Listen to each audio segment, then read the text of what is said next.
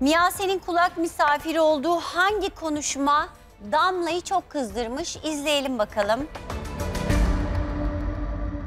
Nuray teyze sabah makyaj odasında annenle konuşuyordu, senin annenle. Evet. Ve kavga ediyorlardı. Ben de ne muhabbetinden bil. Ne Altın muhabbet? kesesi. Altın kesesi mi? Altın Aa. kesesi onlara mı düşmüş? Ne olmuş? Kardeşin altın kesesini tutmasın diye kardeşi 12 yaşında mıymış neymiş 12 yaşındaydı galiba Aynen mi? kardeşim 12 yaşında. Kardeşin 12 yaşında diye Nuray teyze diyor ki olmaz o tutamaz Ee, şey diyor onun yerine ben tutacağım diyor. Ya sen ciddi misin Miyase? Oturup bunu mu konuştunuz gerçekten? Ben değil farkında mısın annenle kayınvaliden Sen- tartışıyordu. Ben Bir telefon şey soracağım konuşmalarını sana. duydum. Sen de oradaydın. Yani demek ki konuşmalardan haberin var, yanındaydın. E onu diyorum ya zaten konuştular diye E sen Damla. hiç böyle... Da, Nuray teyze o ne demek ya? Böyle bir şey olabilir mi? Ben ne anlarım altın kesesinden? Efendim? Ben ne anlarım altın Senin kesesinden? altın keseni kim tuttu Miyase? tuttu. Evet. Anneanneme verildi. Kesinlikle kayınvalidem altın kesesi falan tutamaz. izin vermiyorum. Mantıken de Yani- doğru değil ki. Vallahi ben... Ben- sana bir şey söyleyeyim mi? Annenle kavga ediyorlardı bilemeyeceğim artık. Yani istediği kadar etsinler. Hiç alakası bile yok. Gerekirse kardeşime de tutturmam ama ona asla tutturmam yani. Şey çoluk çocuğa şey mi kese mi verilir falan diyordu. Ya kendi daha unutkan, daha ayakkabısını, kolyesini nereye koyduğunu unutuyor. Yani yaşından ötürü olabilir. Damla, ama ben kesinlikle bilemem. emanet O- edemem ben altın kesemi o sizin kimseye yani. şey bileceğiniz Kimse işte. de almasın kardeşim. Ben kendi koluma takarım altın kesemi. Yani hiç e, kimseye gerek yok. Ben altınımı kendim taşırım. Nuray abla normalde keseyi kim tutacak, kim karar verir?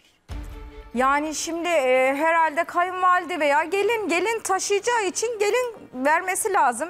Ben vermem lazım. Ben aldığıma göre altınları. Sen bunu Damla ile konuşmamışsın. Miyase şahit oluyor. Sen dünürünle konuşuyorsun bu konuşmayı. Şöyle bir şey Nursel Hanım dünürüm de sordu. Hani e, kızlar mı taşısın veya bazen biz telefonda Ayşegül'le konuşuruz böyle çocuklardan önce. O da gerçekten anlayışlı bir insan. Fikrime de e, onay veriyor. Ben de onun fikrine böyle danışarak yapıyoruz.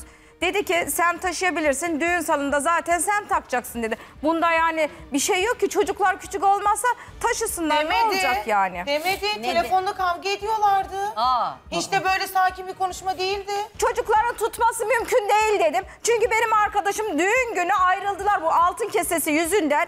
Damla Tamam, da çok iyi biliyor. Tamam senin o tutmanı yüzden dedim ki istemiyorum. Şey şık da durmayabilirsin kayınvalidenin tutma. Evet. Sen kötü niyetli yapmamışsın. Hani küçük çocuk düşürür, alınır, Evet, evet, aynen, çalınır, bir düşürür şey olur diye. gibi düşünmüşsün ama sanki kayınvalideye de çok yakışmaz. Ya şöyle ya da bir şey- geline de çok yakışmaz. Gelin de. Şöyle Nursel Hanım ben e, altınımı ben daha düğün olmadan herkes altın derdine düşmüş. Yani artık gerçekten bıktım gerçekten. E, benim teyzem var, halam var, güvenebileceğim bir ton insan var. Bir tane teyzem var ve sonuna kadar da güvenirim teyzeme. sen kız kardeşine güveniyorsun, teyzene güveniyorsun. Ben oğlumu doğurmuşum. Sen kayınvalidene mi güvenmiyorsun? Sen daha düğün olmadan altın peşine düşersen ben, ben sana düşmüyorum güvenmem. sadece bir konuşma yaptık o kadar. Diyorsun ki Ne ben alakası taktım var? bak. Altını ben taktım koluna.